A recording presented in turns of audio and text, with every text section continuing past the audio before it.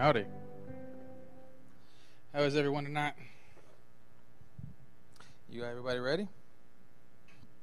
Today, we're on Revelation chapter 20 still, part 2 of at least 3, maybe 4 parts. um, there's a lot of information regarding the Millennial Kingdom. And just so you guys understand this, I'm going to read I'm going to read to you what the book of Revelation tells us about the millennial kingdom. You ready? Revelation chapter 20, verses 6 through 7. Blessed and holy is the one who has part in the first resurrection, for over these the second death has no power, but they will be priests of God and of Christ and will reign with him for a thousand years. When the thousand years are completed, Satan will be released from his prison. That's it. That's all there is to it. That's all the millennial, all the book of Revelation, the book of Revelation says about the millennial kingdom. Two verses. Although the first verse, it doesn't really say much about it, except, you know, it's just kind of a blessed are those who are part of the first, not the second, yada, yada, yada. So, I mean, I want to be blessed. Um, tonight, we're going to be covering the kingdom itself, what it's going to be like. It's a couple different aspects we're going to go over. Just as a refresher, we have to remember the millennial kingdom is filled with three different persons. You have Christ himself, you have those who have their glorified bodies and minds, and you have your fleshies. I'm going to continue to call them that. You have your people who still have sin. And that's it. Well, as far as people goes. So you have three different people types. And I don't know if the glorifieds are going to have a little glow to them, if they're all going to wear, you know, white togas. I don't know if they're going to be distinguishable from anybody else, or if they're just going to look like someone who is 35 years old. I honestly, I don't know. It doesn't tell us exactly. But a glorified body, you'd think there'd have to be something uniquely different about it.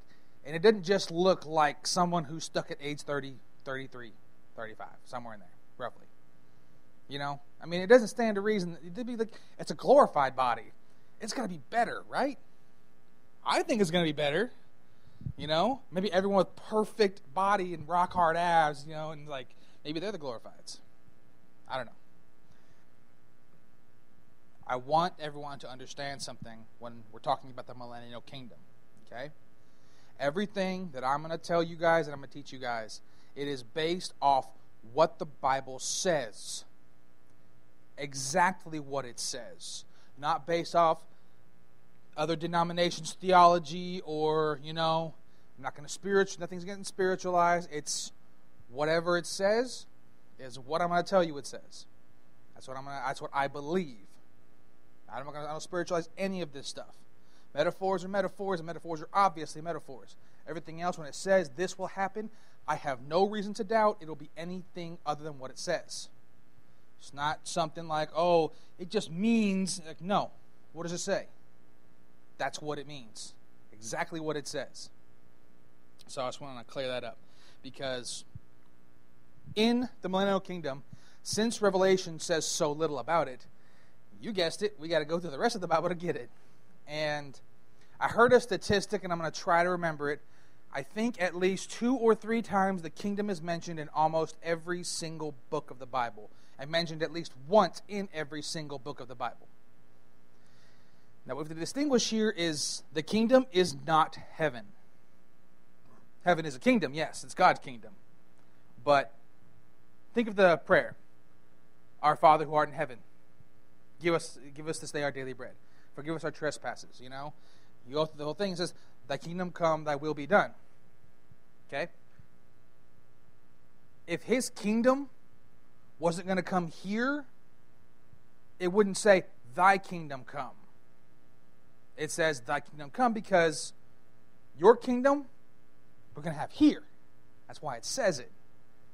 Make sense? I mean, if this is a kingdom we're just going to go to, then why would we even bother praying for it to come?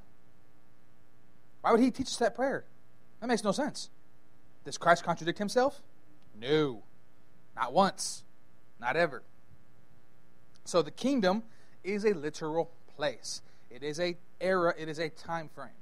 In the Old Testament, it's merely referred to as an age because the time, the length of time was not established yet. It was not established until the millennial kingdom. Now, John doesn't say a whole lot about the millennial kingdom because the rest of the Bible already said it. And he knew the rest of it. It wasn't in a nice, neat little tidy package, you know, like we have right now, a Bible. But he knew the scriptures. He studied the scriptures. All the apostles did. They knew them. I mean, I firmly believe you have a hard time convincing me they didn't know it. Not that they had to. They had Christ. They had the words and teachings and experience of Christ. They didn't need the Old Testament. You know? But if you ever actually read the Bible, you go through it, you'll notice how often they quote it. They quote the prophets. They quote a lot of the Old Testament. Well, how could they do that if they didn't know it? True, it could be divine inspiration, and it is divine inspiration to a degree, or it is flat out. But I mean, I think they still knew the scriptures. And when they quoted somebody, I think they knew they were quoting Isaiah, Daniel, whoever. So, the question we have right now what does kingdom mean? Well, the fact that it's a earthly kingdom is pretty much one of the biggest focuses of debate. People, when you read the Bible, anytime it refers to that kingdom, Christ's kingdom, it is a separate kingdom from God. Because heaven is God's kingdom. Christ being God, it's also his kingdom too, but the fact that they're separate, Christ will have an additional one, which is where we set up the rule and reign on earth. Now, why will there be why will there be a separate kingdom? Well, if you look at it, we have those as far as humans go, we have those two distinct types, the glorifieds and the fleshies. Why are there people of flesh still in the world? Why do they exist? Well, they didn't die. They made it to the end of tribulation. So is Christ going to kill them? No. He could kill them and give them glorified bodies. We should be done with it. But he loses a benefit in that. And that benefit is for the flesh that are still alive, when they procreate, that's more souls into the kingdom. He wants more. He cut himself short? Yes, some are going to turn away, but many will come. So why wouldn't he? I mean, aside from being God it's not something we can easily answer or fully comprehend anyway. So there's no point in actually losing, uh, stressing and losing sleep over these things like trying to figure out God. Flat out, he basically told us, My ways are not your ways. My thoughts are not your thoughts. But basically said, I'm sorry, I made you, but you're too dumb to understand. Right now. Be patient. All will be made clear later in time. But it's going to take some time. So the Christ of kingdom is an earthly kingdom. And there will be a point when heaven comes. We'll cover that in a week or two. But that's going to be a totally separate thing. There's five aspects of the kingdom of Christ that I want to cover with you guys, okay? I'm only going to do three tonight because it's kind of extensive. It's a lot of information. Um, it's the geography, the creation of the earth, the government, the daily life, and the religious practice. Now, I, went with religious practice because it's the most simplistic way to say it. Anyone who knows me knows I don't believe in religion of any sort. I'm not a religious person. I'm a God person. I don't have a religion. I have a relationship with God. Relationship with Christ. It's very, very different. Religions are something that man created. God did not create religion. God is not religious, so why am I? Or why would I be? It's just how I look at it, you know? So I don't claim any denomination. I'm a follower of Christ. Actually, I told Siri to call me a servant of God. So that's what my name was. So if I ask her a question, she's like, no, servant of God. It's like a reminder. All right, first, the geography. Well, we already know, we covered last week, that the geography will be established during the 75 day period, somewhere in there, because he has a lot of work to do.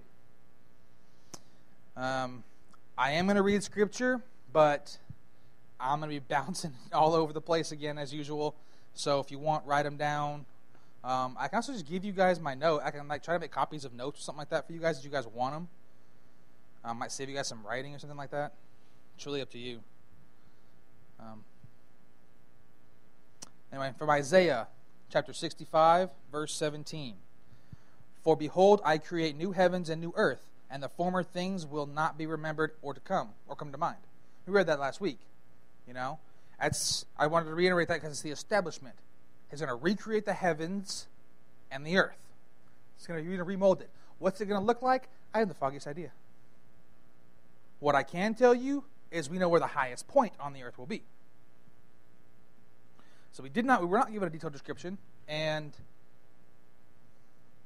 I think we can make a safe assumption about it, if nothing else. If you look around the world, you can get on Google and type in beautiful places, those two words. You're going to find some of the most incredible pictures. Technology these days, 40, 50 megapixel cameras take breathtaking photos of places that we all wish we could go. Tropical environments, waterfalls, nature, just some of the most incredibly beautiful places. Now, if that's how God made the earth look when He's not going to be living and dwelling on it, it's probably safe to say when He remakes it for His earthly kingdom, it's going to be better. It's just a hunch. Why would He make it uglier? And in my mind, He could make it the, exactly the same standard, but I, uh, I just don't see it. Now, there's no biblical proof, no scripture that says he's going to make it better.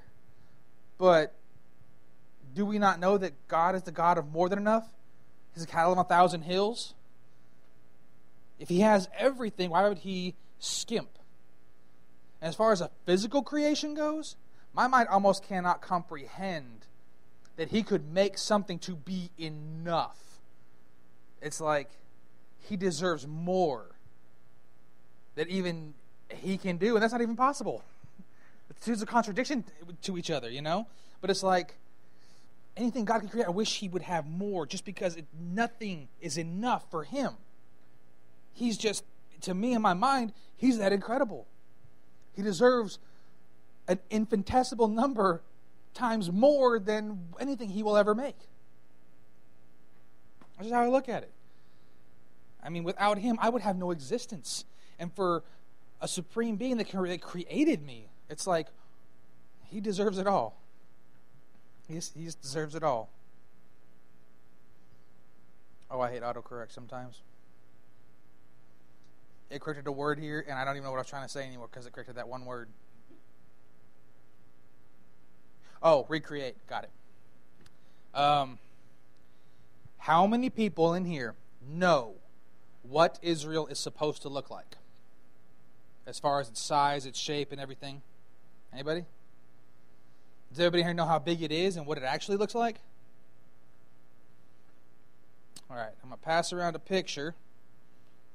Oh, stop it. As soon as it cooperates with me. You guys see that little brown section right there? That's Israel. That's what it looks like. Present day. That's what it's supposed to look like. See how big it is? See all the other countries it invades? Now, that's not a perfect, it's not probably not going to be exactly like that, but that's roughly how big it's supposed to be. It's supposed to be about the size of Saudi Arabia. That's no joke. They have maybe 10% of what they're supposed to? Maybe? So, how do I know that? I'm glad you guys asked. Y'all are on top of it today. what we have right now, um, what it has right now is basically just, just the beginning. That's just it. This is what the end product will be. In Genesis 15, verses 18 through 21, it reads On that day the Lord made a covenant with Abraham, saying, To your descendants I have given this land from the river of Egypt um, as far as the Great River. Now, that river basically cuts down one third. It's on the easternmost